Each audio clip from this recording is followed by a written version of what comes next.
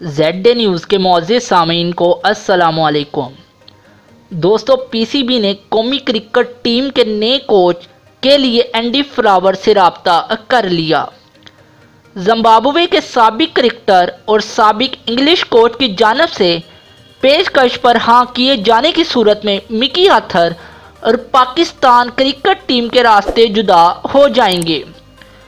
دوستو، ویڈیو میں آگے بڑھنے سے پہلے آپ دوستوں سے چھوٹی سی گزارش ہے، اگر آپ دوستوں نے ابھی تک ہمارے یوٹیوب چینل کو سبسکرائب نہیں کیا، تو بالکل فری میں ہمارے یوٹیوب چینل کو سبسکرائب کر دیں اور ساتھ میں گھنٹی کے بٹن کو پریس کرنا نہ بھولیں۔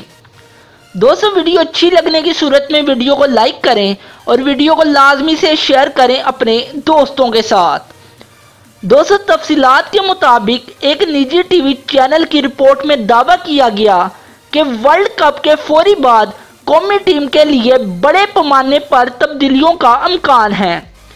دوستو اس حوالے سے پی سی بی نے باقاعدہ اور سنجیدگی سے غور بھی شروع کر دیا۔ دوستو دعویٰ کیا گیا کہ ورلڈ کپ کے اختتام کے بعد مینجمنٹ میں ہیڈ کوچ سمیت غیر ملکی کوچز فارغ ہو جائیں گے۔ دوستو جبکہ سرفراز احمد کے مستقبل پر بھی سوالیہ نشان لگ چکا ہے۔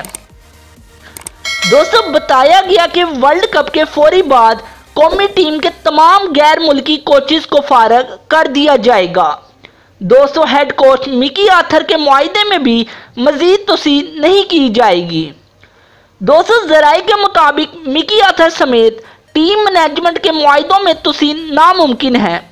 دوستو، یہ تمام تبدیلیاں ورلڈ کپ میں قومی ٹیم کی ابتدائی میچوں میں میوس کن کارکردگی کی وجہ سے عمل میں آئی۔ دوستو، مزید بتایا گیا کہ پاکستان کرکٹ بورڈ نے قومی ٹیم کے نئے کوچ کے لیے سابق انگلش کوچ اینڈل فراور سے رابطہ کر لیا ہے۔ دوستو، اگر اینڈل فراور نے پاکستان کا کوچ بننے کے لیے رضامندی ظاہر کر دی تو اس صورت میں مکی آتھر اور پاکستان کرکٹ ٹیم کے راستے اسی وقت جدا ہو جائیں گے۔ دوستو کہ اینڈر فلاور کو پاکستان کا نیا کوچ ہونا چاہیے یا نہیں؟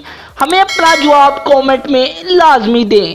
دوستو، اگر آپ کو یہ ویڈیو اچھی لگی ہو تو لائک کر دیں، شیئر کر دیں اور اگر آپ دیکھنا چاہتے ہیں کرکٹ کی لیٹسٹ نیوز سب سے پہلے تو بالکل فری میں ہمارے یوٹیوب چینل کو سبسکرائب کریں اور ساتھ میں گھنٹی کے بٹن کو پریس کرنا نہ بھولیں۔